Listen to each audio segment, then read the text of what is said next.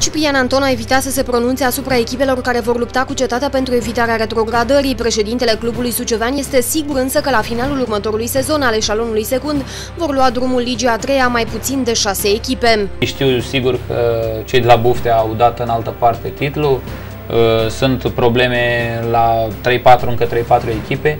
Nu știu dacă, vor, dacă se vor desfința la început, pentru că este un dezavantaj, dacă mă glumim puțin, dezavantaj să te desfințezi la început, pentru că apare alta.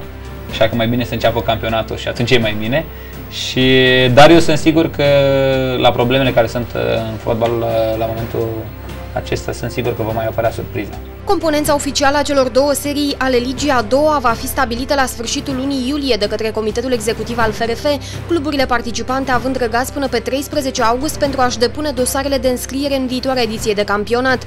Eventualele locuri rămase vacante prin neînscrierea sau retragerea vreuneia dintre cele 36 de echipe vor fi ocupate de formațiile retrogradate în sezonul precedent. Dacă retragerea echipelor va avea loc după începerea campionatului, locurile vacante nu se vor mai completa, iar la sfârșitul campionatului numărul echipelor ce urmează să retrogradeze va fi redus în mod corespunzător.